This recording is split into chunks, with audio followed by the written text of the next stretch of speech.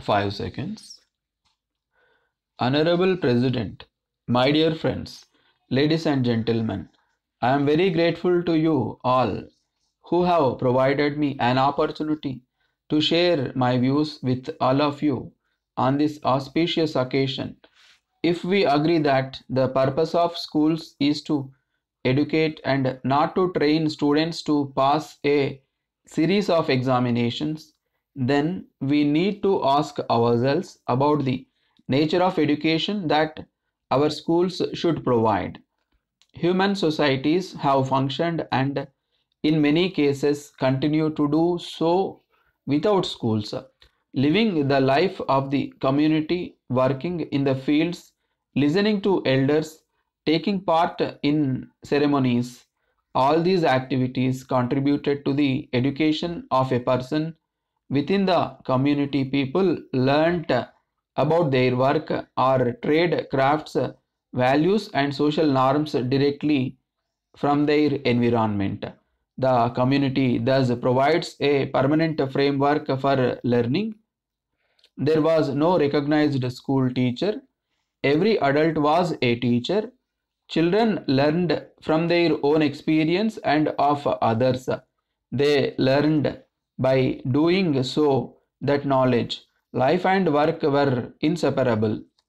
It was only later that schools came into existence for known purposes, while some were giving only religious instruction and knowledge of sacred teachings.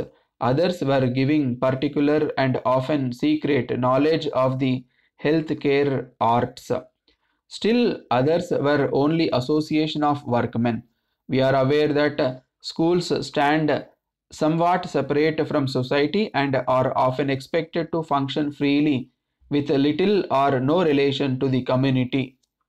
The curriculum followed in the schools is dictated by educational boards functioning in their own form of ivory towers.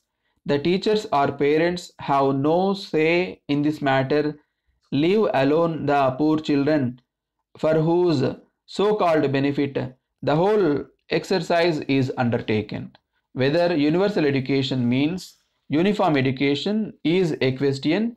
Whether any one pattern of education suits different types of people, communities, and the areas is another question. If classrooms function as closed boxes with no interaction with the outside world, such education will have no relevance for the child as well as the community. We are already seeing the result of alienation produced by such a type of education. There is a very little transfer of understanding taking place between classroom learning and the world of work. Teachers who might teach the value of health as part of the prescribed syllabus turn a blind eye to children littering the playgrounds or even using these areas as toilets. When we talk of education for all in the 21st century, we hardly recognize the diversity of cultural patterns, socio-economic conditions, and varied needs and aspirations of different peoples, confined as the discourse to the voices of the relatively affluent urban population. Our schools provide an education that caters to the aspirations of a very small section of the population, that too without recognizing individual variation in learning styles that will be invariably present. Thus, we have schools in our cities which seem completely irrelevant to people who earn their livelihood by working with their hands. Ask a mason or a carpenter why he chooses not to send his child to school and you will get a ready reply stating that a matric passed by will be useless. He cannot earn his bread himself. He would be unfit for challenging jobs. He will be fit only for a government job. He also says a carpenter earns more than with his tools and skilled hands than a person who is a graduate and works as a school teacher. It is time that communities are given power to create the types of a school that they need. at present schools are institutions whose rules and regulations are followed by parents. It is here that Gandhiji's lesson on the value of freedom of initiative to pursue a cause can be source of great inspiration. Coming to the role of planning and development, the argument of some that the exercise of planning is a waste and should be scrapped cannot be accepted. Planning is not merely drawing up a list of projects and finding resources to execute them, but it is a continuous movement towards goal. Political freedom is not full without economic freedom. It should give an opportunity to a large number of people to profit by the democratic method and to have equal chance to prosper. To achieve this goal, planning is necessary.